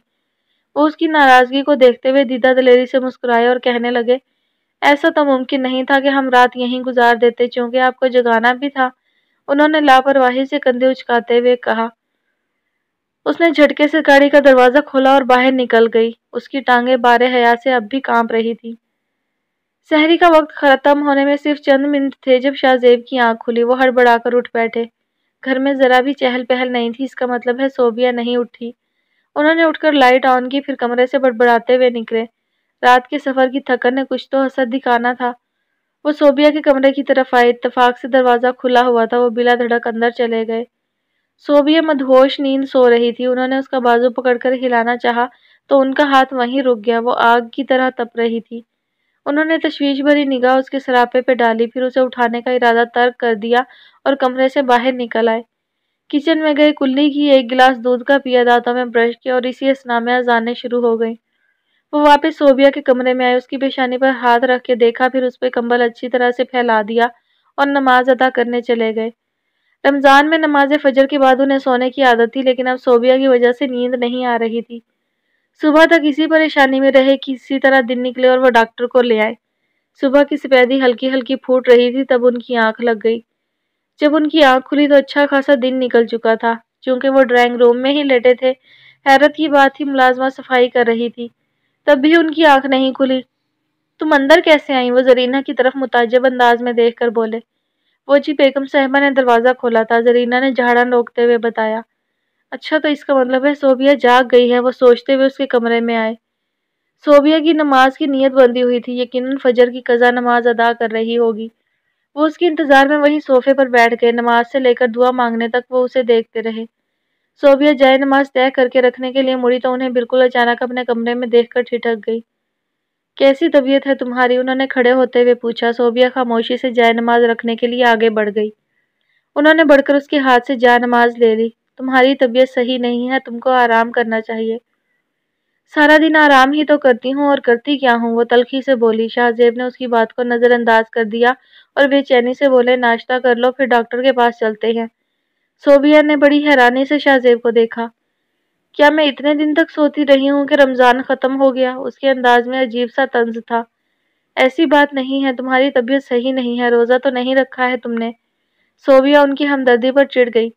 अब मैं इतनी भी बीमार नहीं हूँ कि फ़र्ज़ इबादत ही अदा ना कर सकूँ। शाहजेब ने उसका हाथ पकड़ लिया। आग की तरह जल रही हो और कहती हो, कुछ नहीं हुआ। मामूली बुखार ही तो है सोबिया ने चिढ़कर उनका हाथ झटक दिया। ले लूँगी दवा रोज़े के बाद। तब तक बुखार बहुत तेज हो जाएगा, शाहजेब तेज़ी से बोले। बेहतर है कि मेरे साथ अभी डॉक्टर के पास चलो और कोई ज़रूरत नहीं है रोज़ा रखने की, अब की बार उनका अंदाज कतई था। शायद आप भूल रहे हैं, ये फ़र्ज़ रोज़ा है, आपका ख़ानदानी मामला नहीं है। शाहजेब को उसकी बात बहुत बुरी लगी। जानता हूँ फ़र्ज़ रोज़ा है, लेकिन खुदा ने इंसान को अपने ऊपर जबर करने के लिए भी नहीं कहा। मेरा ख्याल है ये मेरा और मेरे खुदा का मामला है सोबिया जिंजला गई। गलती से मैं आपका शोहर हुआ करता हूँ और शरीयत में खुदा ने शोहर के कुछ इख्तियार भी रखे हैं। जो औरतें अपने शोहर की नाफरमानी करती हैं, उनकी फ़र्ज़ इबादत भी कबूल नहीं होती। सोबिया शाहजेब की इस बात पर जल भून ही तो गई। शरीयत ने सारी बातें औरतों के लिए ही नहीं कही, मर्दों के लिए भी कुछ कहा ही होगा। हाँ क्यों नहीं? शाहजेब तेज़ी से बोले। और उसकी तरफ़ वाले निगाहों से देखते हुए कहने लगे, मर्दों के लिए सिर्फ़ ये हुक्म है कि अपनी बीवियों से खूब प्यार मोहब्बत करो। सोबिया ने तेज सुलगती निगाह शाहजेब के चेहरे पर डाली। इससे कबल वो कुछ जवाब देती सरीना अंदर आ गई। साहिब, जी हवेली से फ़ोन आया है बड़ी बेगम साहिबा का। शाहजेब फ़ोन सुनने बाहर आ गए। जब वो फारिग होकर अंदर आए सोबिया बिस्तर में बैठी थी। अम्मी का फ़ोन था, तुमसे बात करना चाहती थी। मैंने बता दिया है कि तुम्हारी तबीयत सही नहीं है। मुझसे बात क्यों करना चाहती थी? उसने नरूठेपन से पूछा। जुमा को नूर की शादी की तारीख दे रहे हैं। तुम इस घर की बहू हो। कुछ तो मशवरा करना ही होगा। मशवरा, वो तलखी से हंस पड़ी। तो गोया आपके यहाँ मशवरे भी होते हैं। मैं तो अब तक यही समझती रही कि सिर्फ़ फैसले ही होते होंगे। बदकुमानी की कोई हद भी होती है, शाहजेब चिढ़ गए। यकीनन होती होगी, बशर्त ये कि मुफाद परस्ती की भी हद होती। शाहजेब खामोश हो गए। वो बात बढ़ाना नहीं चाहते थे। बात का रुख बदलते हुए बोले, अम्मी ने मुझे हवेली बुलाया है, लेकिन फिल वक्त मैं तुम्हारी वजह से नहीं जा रहा। तुम्हारी तबीयत सही हो जाएगी, दोनों इकट्ठे चलेंगे। मैं हवेली जाना नहीं चाहती, अलबत्ता आप जाएँ या रुके, मुझे कोई फ़र्क नहीं पड़ता, वो लापरवाही से बोली। तजलील के एहसास से शाहजेब का चेहरा सुर्ख हो गया। सोबिया, मेरी बर्दाश्त की भी एक हद है। समझी, तुम बहुत हो गया ये ड्रामा। मैं जितना दरगुजर से काम ले रहा हूँ, तुम उतना ही मुझे टार्चर कर रही हो। रुखसती के बाद से तुम्हारा रवैया इंतहाई तलख और नाशाइस्ता है। तुम्हारी इस सारी बदगुमानी को मैं दूर कर देना चाहता था, जो अंदेशा तुम्हारे दिल में नूर और बिलाल की मंगनी के बाद आए। मैं तुम्हारे वजूद से वक्ती खुशी हासिल नहीं करना चाहता था। इसलिए मैंने तुमको वक्त दिया कि तुम जहनो दिल की आमादगी के साथ इस हकीकत को कबूल करो। तुम्हें क्यों अंदेशा है कि वट्टे सट्टे की शादी हमारे लिए नुकसान का सबब बनेगी? ये रिश्तेदारी गैरों में तो नहीं हो रही। मैंने जल्द रुखसदी का मुतालबा इसलिए किया ताकि तुमको बिलाल की शादी से पहले हम लोगों की तर्ज ज़िंदगी और जहनी अप्रोच का अंदाज़ा हो जाए। यहाँ लोग कम तालीम याफ्ता है, लेकिन खुले दिलो दिमाग के मालिक हैं। कोई भी बात बतंगड़ नहीं बनेगी।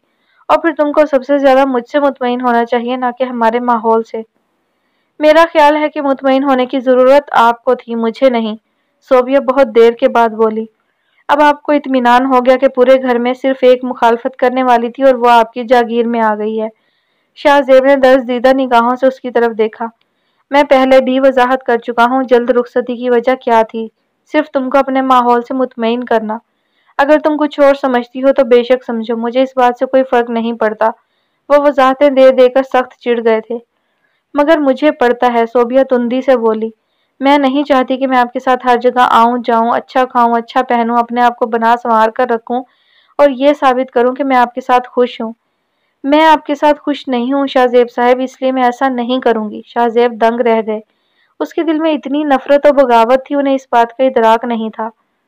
सिर्फ़ बहन का रिश्ता करने की वजह से इतना जलील होना पड़ा। लानत है ऐसे रिश्ते पे, जब मोहब्बत ही शक की स्लेब पे लटक जाए। वो कम अज कम पिछली मोहब्बत को तो याद रखती, उसने सब कुछ ही फरामोश कर दिया। वो हर चीज़ नज़रअंदाज करके सिर्फ़ एक पहलू देख रही थी। नूर गिरी पड़ी तो नहीं, जरा सी अना की बात थी ना, जिसकी खातिर ये सब कुछ करना पड़ा। उसके लिए बहुत रिश्ते हैं, इसका फैसला बदलते वक्त हमें उस बात का दुख नहीं होगा कि उसकी ज़िंदगी पे दाग लग गया है। हाँ अलबत्ता सोबिया बेगम, आपको इस रिश्ते की हकीकत का एहसास अच्छी तरह से हो जाएगा। सोच सोच कर उनका दिमाग फटने लगा था। दो दिन इंतहाई खामोशी से गुजरे, वो भी इसलिए कि उनकी तबीयत सही नहीं थी और वो चाहते थे कि वो घर दुरुस्त हालत में जाए। तीसरे दिन सुबह ही सुबह शाहजेब ने इंतहाई खुश्क अंदाज में जब उससे कहा, सोबिया, घर चलने की तैयारी करो। उसने एक लम्हा तो सोचा कि यह हुक्म है या फैसला, फिर दूसरे लम्हे इस ख्याल को झटक दिया। जो कुछ भी है, फिल वक्त ऐसा कदम घर वालों को ये बेवकूफ़ाना फैसला करने से रोक सकता है। और बस यही ख्याल के तहत उसके लिए तकवीत का बायस था क्योंकि वो ऐसा ही कुछ चाहती थी, घर चलने पर आमादा हो गई। शाहजेब को उसका ये फौरी अमल बड़ा खटका था। शायद उन्हें अभी अपनी मोहब्बत पर मान था, लेकिन उसने सारा मान खत्म कर दिया। शाहजेब उसे घर खुद छोड़कर गए। उसके साथ ही उन्होंने चचा और चची से बात की कि फ़िलहाल शादी की तारीख नहीं दे रहे। ईद के बाद सोचकर फैसला करेंगे। सोचकर फैसला करेंगे, रईस अहमद ने मुताजब अंदाज में पूछा, कहीं जल्दबाजी में कुछ गलत ना हो जाए, अभी तो हम सोच सकते हैं, शाहजेब ने मोदी वो संजीदा लहजे में कहा। रईस अहमद और सफिया जहाँ दीदा इंसान थे, दंग रह गए। उन्होंने शाहजेब से मजीद बात करना मुनासिब ना समझा अलबत् उनके दिल में खटका ज़रूर आ गया था। अपनी तसली के लिए उन्होंने शाहजेब की अम्मी से बात की। रुकैया बेगम ये बात सुनकर हैरान हुई। बहरहाल उन्होंने यही कहा कि शाहजेब का अपना फैसला है, मैं रमज़ान में ही तारीख देना चाहती हूँ। शाहजेब आ जाएगा तो मैं उससे बात करके आपको जवाब दूँगी कि वो ऐसा क्यों चाहता है। आप बेफिक्र और मुतमिन रहें। पता नहीं उसने ऐसी बात क्यों की। मैं तो खुद फिक्रमंद हो गई हूँ। सफ़िया रुकैया बेगम से बात करने के बाद मजीद परेशान हो गई। अब ज़रूरी हो गया था सोबिया से बात करना। सफ़िया ने बेटी से पूछा कि बात क्या है? तो सोबिया ने बड़ी सफ़ाई से झूठ बोल दिया, मुझे नहीं मालूम। ये कैसे हो सकता है? शाहजेब ने इतनी बड़ी बात ऐसे ही कह दी। कहीं तुमने कोई उल्टी सीधी हरकत नहीं की? उनका खदशा ज़ुबान पर आ गया। अम्मी, मैं शादी से कबल भी इस रिश्ते की मुखालफत में थी और अब भी हूँ। मैं पहले ही कह चुकी थी कि मैं किसी के दबाव में नहीं आऊँगी। उसकी हट धर्मी पे अम्मी का दिल होल गया। बेवकूफ़ तुम्हें मालूम है, तुम्हारी इन हरकतों से अब एक नहीं, दो घर बर्बाद होंगे। खुदा करे आपको ये बात अब भी समझ में आ जाए, इससे कबल पानी सर से गुजरे। मगर शाहजेब तो बड़ा सुलझा हुआ इंसान है, अम्मी ने तफक्र से उसकी तरफ़ देखा। लेकिन बिलाल तो मेरी वजह से उलझ गया है, कतई अंदाज में कहा और कमरे में चली गई। शाम को बिलाल घर आया तो उसे अचानक देखकर जहाँ खुश हुआ, वहाँ हैरान भी। वो भाभीियों के साथ अफ्तारी का इंतज़ाम कर रही थी। कि तुम कब तशरीफ़ लाई? वो अचानक किचन में आ गया। आज सुबह ही आई हूँ। वो पकौड़ों का बेसन खोल रही थी। अभी उससे मजीद बातचीत करता कि अम्मी ने आवाज़ दे डाली। बिलाल बिलाल अम्मी के पास चला गया। वो बेहद फिक्रमंदो मलोल बैठी थी। बिलाल, मैंने तुमसे एक अहम बात करनी है। जी, अम्मी, करें। वो हमातन गोश था। मैं सोबिया की तरफ़ से बेहद फिक्रमंद हूँ, मुझे उसकी समझ नहीं आ रही। फिर अम्मी ने सारी बात बिलाल के गोश गुजार कर दी। बिलाल सोच में पड़ गया, उसे सोबिया से ऐसे रवैये की तो नहीं थी। बिलाल, तुम दोनों बहन भाइयों में बेहद अंडरस्टैंडिंग है। जितना तुम दोनों एक दूसरे के करीब रहे हो, शायद ही मेरी कोई औलाद रही हो। तुम दोनों एक दूसरे की बात अच्छी तरह से समझ लेते हो और एक दूसरे की बात से वाकिफ भी होते हो। मुझे ये बताओ, क्या तुम इस रिश्ते से खुश नहीं हो? नहीं अम्मी, ये बात आपने कैसे सोची? फिर सोबिया ने क्यों कहा कि बिलाल मेरी वजह से उलझ गया है? अम्मी की बात पे बिलाल एक लम्हा में बात की तह तक पहुँच गया। वो बेवकूफ़ इस हद तक हसास है, मुझे इस बात का अंदाज़ा नहीं था। वो सोचते हुए हंस पड़ा, फिर माँ को मुतमिन करने की गर्ज से बोला, आप बेफिक्र रहें, अगर उसे मेरी वजह से कोई मिसअंडरस्टैंडिंग है तो मैं उस पर क्लियर कर दूँगा। बहरहाल आप इतमान रखें, ऐसी कोई बात नहीं है। बिलाल के चेहरे पर शगुफ्ता सी मुस्कुराहट थी। नमाज़ ईशा और तरावी अदा करने के बाद वो अपने बिस्तर में लेटी हुई थी कि बिलाल उसके कमरे में आ गया। अगर मैं तन्हाई मनाया जा रहा है, वो भी अकेले अकेले, वो लाइट्स ऑन करता हुआ खुशगवार अंदाज में उसके करीब आकर बैठ गया। तुमसे किसने कहा कि मैं कमे तन्हाई मना रही हूँ? वो ज़रा सा हंसकर सीधी हो गई। तुम्हारी शक्ल से तो ऐसा ही लग रहा है कि तुम बेहद सोग में हो। क्या करूँ? मेरी शक्ल ही ऐसी है, बाकी सब लोगों की तरह मुनाफ्त से काम नहीं ले सकती। जो दिल में होता है वो चेहरे पर अया रहता है, उसने तंजिया हंसकर कहा, यहाँ कौन मुनाफ्त कर रहा है? वो थोड़ा सा मुस्कुराया, तुम और कौन? वो तेज़ी से बोली, तुम मुनाफ्त कर रहे हो। अगर तुम पहले ही सारी बात अम्मी अब्बू को बता देते तो आज नूर से नहीं, शर्मीन से तुम्हारा रिश्ता तय हो चुका होता। मगर तुम क्यों चुप रहे? मेरी वजह से, है ना? बड़ी फ़िक्र है तुम्हें मेरी। तुम्हें ही क्या बाकी सबको भी? वो मुश्तिल होकर बोली तुम्हारी गलत फहमी है ये, बिलाल आहिस्ता मगर कतई से अंदाज में बोला। शर्मीन को धोखा देकर तुम नूर से शादी करोगे, ये मेरी गलत फहमी ही है। याद रखो, ये गलत फहमी मुझ पर वाजिया है। स्टॉप इट बिलाल मुश्तिल हो गया। धोखा दिया नहीं है मैंने, बल्कि मैं खुद धोखे में रहा हूँ। शर्मीन मुझसे मोहब्बत नहीं करती थी, उसके बावजूद मैं उसे पहली नज़र में बहुत अच्छा लगा था। वो हमेशा मेरी तारीफ़ करती थी, जो कि मेरी हौसला अफजाई का सबब बनी और मैं बढ़ते बढ़ते बहुत बढ़ गया। वाट डू यू मीन क्या वो तुम्हें इंटरेस्टेड नहीं थी? सोबिया बुरी तरह चौंकी। वो मुझमें इंटरेस्टेड थी और बेहद इंटरेस्टेड थी, लेकिन सिर्फ़ एक मॉडल की हैसियत से। वो मुझे देखती और सराहती थी। वो मेरी खूबियों की तारीफ़ करती थी तो अपनी फ़ील्ड में एक नए चेहरे को मुतारफ कराने के लिए। उसे मेरा हेयर स्टाइल कदो कामत चाल ढाल, गर्ज पूरा वजूद पसंद था। लेकिन इस वजूद में एक दिल भी होता है। उसने इस तरफ़ कभी ध्यान नहीं दिया। बिलाल सर झटक कर खामोश हो गया। सोबिया हैरानी से उसकी तरफ़ देख रही थी। और यकीन करने की कोशिश कर रही थी। मुझे अपने नज़रअंदाज किए जाने का दुख मलाल नहीं, अफसोस तो इस बात का है कि मैं उसे सही समझ नहीं सका और उससे इजहार मोहब्बत कर बैठा। काश मैं अपने जज्बे ज़ाया ना करता। कितने सुकून से कह गई थी वो। बिलाल साहब, माफ़ कीजिए, मैंने आपके बारे में कभी ऐसा सोचा नहीं। मेरी तो दिलचस्पी का मरकज सिर्फ़ यह था कि आप हमारे मैगजीन में बतौर मॉडल काम करें। यह तजलील मेरी बर्दाश्त से बाहर थी। कई दिन लगे मुझे संभलने में। वो खामोश हो गया। फिर सोबिया की तरफ़ तासुब से देखते हुए बोला सोबिया मैंने शर्मीन से सच्ची मोहब्बत की थी। हमेशा धोखा दिया ही था ठोकर पहली बार खाई है और वो भी उसी शर्मीन के सामने। एकदम मेरा आप, अपना आप हकीर सा हो गया है। वो सिर्फ़ अपना मतलब पूरा करने के लिए मुझे इस्तेमाल करना चाहती थी और मैं सरता पा उसके इश्क में डूब गया था। ये मेरे अमाल की सज़ा नहीं तो और क्या थी? मुझे ऐसा लगा जैसे मैंने अपने रब के अहकाम को हमेशा नज़रअंदाज किया था। आज उसने अपनी एक हकीर बंदी के ज़रिए मुझसे बदला ले लिया। सब फैसले खुदाए पाक के होते हैं। इंसान अपने आप को क्या कुछ समझता है, मगर खुदा के सामने वो कुछ भी नहीं। बिलाल खामोश हो गया, सोबिया हैरत से उसे तक रही थी। जब मैं लाहौर से आया तो शदीद नफसियाती दबाव का शिकार था। मैं नहीं चाहता था कि मेरा अमाल नामा सबके सामने खुले। मैंने अहद कर लिया था कि मैं खुद से कभी ये बात किसी को नहीं बताऊँगा। मुझे पता लगा, अबू मेरा रिश्ता नूर से करना चाहते हैं। मैं खामोश हो गया। ज़िंदगी में पहली बार मैंने सिर्फ़ एक लड़की की ख्वाहिश की थी और वो थी शर्मीन। शर्मीन के बाद कोई भी लड़की मेरी बीवी हो सकती थी। सो मैंने नूर के लिए हाँ कर दी। बिना किसी दबाव या मसलहत के ये फैसला मेरा अपना था।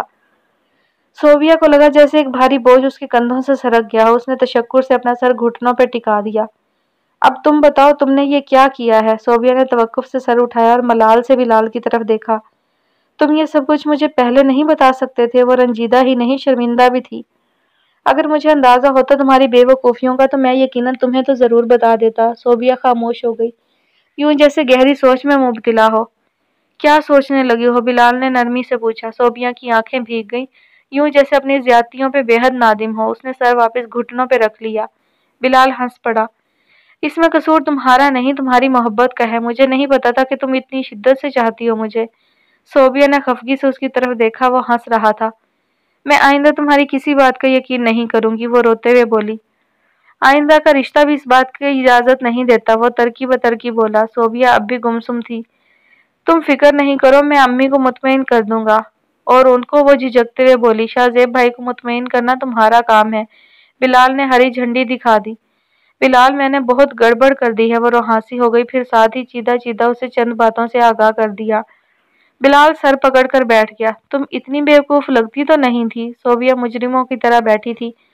अब एक ही सूरत है कि उन्हें सारी बात से आगाह किया जाए, तभी उनका दिल तुम्हारी तरफ़ से साफ़ हो सकता है। बिलाल बहुत देर के बाद बोला तो क्या तुम उन्हें अपने इश्क की पूरी दास्तान सुनाओगे? तुमने काम ही ऐसा किया है कि ये दास्तान अब छुपाई नहीं जा सकती। वो कुछ नाराज़गी से बोला, फिर कदरे सोचकर कहा, बहरहाल, बुरी तो बात नहीं बता जा, बताई जा सकती, इसमें मेरी भी इंसल्ट है। कुछ इस तरह से बात बताना होगी कि एक गलत फहमी की बिना पे सब कुछ होता चला गया। आखिर तुम्हें भी तो सुरखरू करना है। खैर, तुम फ़िक्र नहीं करो, सब ठीक हो जाएगा।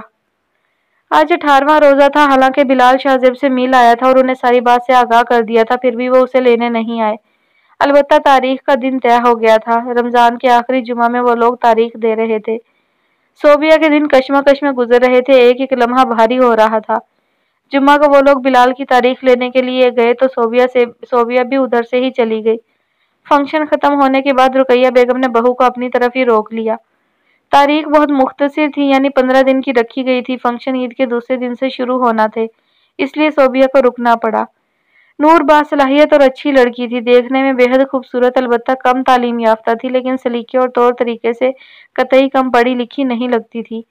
सोबी अब उसे नए जाविये से देख रही थी, उसमें कहीं कोई तनकीद की गुंजाइश नहीं निकलती थी। वो शमीन की तरह मॉडर्न तो नहीं थी, अलबत्त नेक, सीरत और बाहया थी जैसा कि अब्बू की ख्वाहिश थी। रबिया भी रहने के लिए आ गई थी। दिन रात मसरूफियत में गुजरने लगे रमज़ान के छोटे छोटे दिन और बेपना मसरूफियत।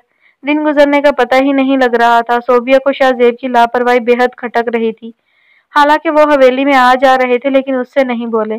ऐसे जैसे उससे कोई ताल्लुक नहीं है। बिल्कुल अजनबियों की तरह काम की गर्ज से आते और चले जाते। इन्हीं मसरूफियात में रमज़ान मुबारक का अख्ताम हुआ। आज उनतीसवां रोज़ा था। सुबह से ही सबको उम्मीद थी कि चाँद नज़र आ जाएगा। रात देर तक शोर हंगामा रहा। सब चाँद के मुंतजर थे और बिलाखिर चाँद को निकाल कर ही दम लिया। गाँव में चाँद रात का मंजर उसके लिए दिलचस्पी नहीं, खूबसूरत भी था। ऐसी पुरजोश रौनक उसने पहली बार देखी थी। चाँद देखकर उसने सदके दिल से दुआ की थी। कि शाहजेब का दिल उसकी तरफ़ से साफ़ हो जाए।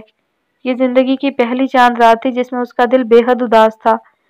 सब लोग एक दूसरे को मुबारकबाद दे रहे थे। रबिया ने मेहंदी घोल ली थी। वो सबकी फरागत का इंतज़ार कर रही थी और फिर उसने सबसे पहले सोबिया के हाथ पैरों में खूबसूरत मगर सादे अंदाज में मेहंदी लगाई। ईद की सुबह वो बहुत एहतमाम से तैयार हुई थी। हल्का फेरोजी टिशू का नफीस, कामदार कुर्ता और दुपट्टा। सिल्क का हमरंग पजामा, लंबी सी गजरों से गुंधी चुटिया। मुनासिब ज्वेलरी और मुनासिब मेकअप में वो रिवायत से हम आहंग बेहद प्यारी लग रही थी। शाहजेब ईद की नमाज़ पढ़कर आए तो वो ताई जान के पास उनके तख्त पे ही बैठी थी। वो अपनी माँ से मिले फिर सबको ईदी दी। बड़ा खुशगवार माहौल हो रहा था। सोबिया का दिल चाह कि वो भी उनसे ईदी मांगे, लेकिन वो तो उसे मुसलसल नज़रअंदाज कर रहे थे। वो उठकर किचन में आ गई। हमेशा ईद का दिन उसके लिए मसरूफ़ होता ही था, लेकिन यहाँ ज़रूरत से ज़्यादा ही मसरूफ़ था। सबीला और रबिया के ससुराल फिर गाँव में एक दूसरे के यहाँ आने जाने की रिवायत भी बहुत ज़्यादा लगती थी। इसलिए सारा दिन मेहमानों का तांता बंधा रहा और वो यही मौका तलाशती रही कि किसी तरह शाहजेब से मुलाकात हो सके। लेकिन दोपहर के बाद वो उस घर में नज़र ही नहीं आई, यूँ जैसे गायब हो गए हों। वो परेशान और मुतजबजब थी। शाम को उसे पता लगा कि शाहजेब के चंद मेहमानों ने आना था, इसलिए वो घर चले गए हैं। ताई अम्मी ने सोबिया को औरंगज़ेब के साथ घर भिजवा दिया ताकि वो मेहमानों की देखभाल खुद कर सके। फिर अगर रोज मेहंदी का फ़ंक्शन भी था, उसे अपनी तैयारी भी करना थी। हवेली से उनके घर तक का फासला ज़्यादा नहीं था। सिर्फ़ शाहजेब इसलिए इस घर में रहते थे कि जदीद सहूलतों और जदीद तर्ज की इमारत थी। उनका हल्का व्यापा और रहन सहन कुछ इस तर्ज का था कि उन्हें हवेली सूट नहीं करती थी। औरंगज़ेब गाड़ी में उसे घर तक छोड़ आया। वो घर आई तो उसे पता चला कि मेहमान होकर जा चुके हैं, लेकिन उसे शाहजेब कहीं नज़र नहीं आए। शायद मेहमानों के साथ बाहर चले गए थे। वो मुतफक्कर और हरासा लाउंज में बेबस चक्कर काटती रही और दिल ही दिल में लफ्ज़ों को तरतीब देती रही कि किस तरह उनसे बात करेगी। लेकिन हर लफ्ज़, हर जुमला अपनी ज्यादती के सामने हकीर और कमतर लग रहा था। वक्त जो जो गुजर रहा था, उसके औसान खता हो रहे थे। क्या वो उन्हें मना भी सकेगी या नहीं? वो थक हार कर अपने कमरे में आ गई और सोचने लगी कि किस तरह उन्हें मनाए कोई ऐसी बात, जुमला या कोशिश जिससे उनका दिल साफ़ हो जाए। मगर उसकी कुछ समझ में नहीं आया। वो बोलाई बोलाई फिरती रही और बिल आखिर वो शाहजेब के कमरे में आ गई। जैसे ही उसने लाइट्स ऑन की, वो दंग रह गई। उनका बेडरूम फूल और खुशबुओं से मोहतरा रास्ता पे रास्ता जन्नत का नज़ारा पेश कर रहा था। सोबिया को ऐसा लगा जैसे किसी ने उसे फ्रीज कर दिया हो। वो जहाँ खड़ी थी, खड़ी रह गई। उसके कदमों में दरो दीवार पे फूल ही फूल थे। वो तो उन्हें मनाने आई थी, लेकिन शाहजेब की आला जरफी पे उसकी आँखों से आँसू निकल आए। न जाने वो अभी कितनी देर रोती कि उसकी निगाह सामने मेज पर पड़ी जहाँ खूबसूरत रैपर में छोटा सा गिफ्ट बंधा रखा था और उसके ऊपर सुर्ख गुलाब की बंद कली का एक कार्ड रखा था। बेसाख्ता वो उसकी तरफ़ बढ़ी और झुककर कार्ड उठा लिया। बेचैनी से कार्ड की तहरीर पर उसकी नज़रें दौड़ने लगीं। मेरी तमाम चाहते हैं तुम्हारे नाम, ज़िंदगी। मुझे मालूम है आजकल तुम सख्त तरह में हो और अपने सबका रवैये में सख्त निदामत महसूस कर रही हो। बिलाल से सारी हकीकत जान लेने के बाद मुझे शक ही नहीं, यकीन भी था कि तुम मुझसे जब भी मिलोगी, माफ़ी मांगने की कोशिश करोगी। इसलिए मैं तुमसे गुरेज करता रहा, जाने शाह। शायद तुम्हें अंदाज़ा नहीं कि तुम मेरे लिए क्या हो। मैं कतर नहीं चाहूँगा कि तुम मुझसे माफ़ी मांगो और मेरे सामने वजाहतें पेश करो। वजाहतें और दलीलें वहाँ दी जाती हैं जहाँ एक दूसरे को समझा ना जाए। बहरहाल तुमसे गलती हो गई और ये गलती किसी से भी हो सकती थी। जैसे मुझसे हुई, मैं बेहद मुश्तिल अंदाज में तुम्हें घर छोड़ आया, कभी ना कभी ना लाने के लिए। लेकिन बाद में मुझे खुद एहसास हुआ, कुछ गलतियाँ हम अपनी अना की तस्कीन के लिए भी कर जाते हैं। इल्ज़ाम देते हैं एक दूसरे को, अगर तुमसे तुम मुझसे ये मामला डिस्कस कर लेती तो तुम्हें इतनी अजियत ना सहनी पड़ती और ना ही मुझे। हम दोनों ही एक दूसरे से बदगुमान रहे। सिर्फ़ इसलिए कि हकीकत छुपाने से कभी मसले हल नहीं होते। बहरहाल ये ज़िंदगी है, यहाँ कुछ भी हो सकता है। लेकिन किसी भी चीज़ में शिद्दत खिलाफ फितरत है, जैसे तुम्हारी बिलाल से मोहब्बत। बहरहाल मुझे तुम्हारी ये दीवानगी अच्छी लगी। क्या तुम तो मुझसे भी ऐसी मोहब्बत करोगी? आखिरी जुमला फरमाइशी होने के साथ साथ बड़ा दिल फरेब भी था। सोबिया का दिल ज़ोर से धड़का और उसके लबों में बेसाख्ता मुस्कुराहट बिखर गई। वो कार्ड रखने के लिए मुड़ी शाहजेब उसके पीछे ही खड़े थे, वो धक से रह गई। वो फरते जज्बात से उसकी तरफ़ देख रहे थे। सोबिया को अपनी मोहब्बत उनके सामने बेमाया लगी। उसने शाहजेब की तरफ़ देखा। किसी भी चीज़ में शिद्दत खिलाफ फितरत है। फिर आप मुझसे ऐसी मोहब्बत क्यों करते हैं? उसका लहजा भीग गया। वो मुस्कुरा दिए, इसलिए कि तुम मेरी ज़िंदगी हो और अपनी ज़िंदगी से कौन मोहब्बत नहीं करता। सोबिया हैरत से उन्हें देखने लगी। शाहजेब ने झुककर मेज़ पे से गिफ्ट उठाया, फिर रैपर उतारा, उसमें से लॉकेट निकाला और मोहब्बत से सोबिया के गले में डाल दिया। सोबिया मुतहैर सी खड़ी थी, वो उसके तहैर पे हंस पड़े और उसके सामने हाथ लाते हुए बोले, आपके यहाँ ईद मुबारक कहने का रिवाज नहीं है? वो होश में आ गई, शर्मिंदा होते हुए आहिस्तगी से बोली, ईद मुबारक हो। ऐसी मुबारकबाद तो हम बहुत अरसा से वो कबूल कर रहे हैं। क्या फ़ायदा हुआ आपको कबूल करके? क्या आज भी उसी पर गुजारा करना होगा? वो उनकी फरमाइश पे हया से सुर्ख हो गई। गुजारा ही तो करना है, कर लीजिए। वो कुछ देर बाद शरारत से बोली, अरे वाह, अगर गुजारा ही करना होता तो आपको लेकर ही क्यों आते? वो अकड़ कर दूर जा खड़े हुए। सोबिया शशो पंच में मुबतला हो गई और फिर दूसरे ही लम्हे वो उनकी तरफ़ बढ़ गई और फिर पलटने लगी। तो शाहजेब ने उसके गिरद बाजुओं का घेरा तंग कर लिया। बहुत सारी ईदों का हिसाब है, बाकी का हिसाब कौन करेगा? सोबिया सरासीमा हो गई। ये बेईमानी भी है और ज्यादती भी। उसने पूरी कुत से शाहजेब को पीछे की तरफ़ धकेला। वो उसकी बेकार कोशिश पे हंस पड़े। अच्छा मेरी ईदी तो दे दो। एक शर्त पे उनकी फरमाइश पे सोबिया फ़ौरन बोली, पिछली ईदों का हिसाब नहीं होगा वो हंस पड़े। ये हिसाब तो रोज़े क़यामत तक चलेगा। आज की ईदी भी फिर आपको रोज़े महशर ही मिलेगी। सोबिया उनके बाजुओं से फरार होने लगी। समझो आज ही हशर का मैदान है। उन्होंने फरार की सारी राहें मजदूद कर दी। सोबिया की सिट्टी गुम हो गई। शाहजेब का कहकहा बड़ा जानदार था। दोनों के लिए ईद का दिन जितना उदास था, उसकी शाम उतनी ही दिल फरेब थी। ख़त्म शुद। उम्मीद है आपको कहानी पसंद आई होगी। इन जल्द ही किसी दूसरी ईद कहानी के साथ हाजिर होंगी। तब तक के लिए अल्लाह हाफिज़, अपना ख्याल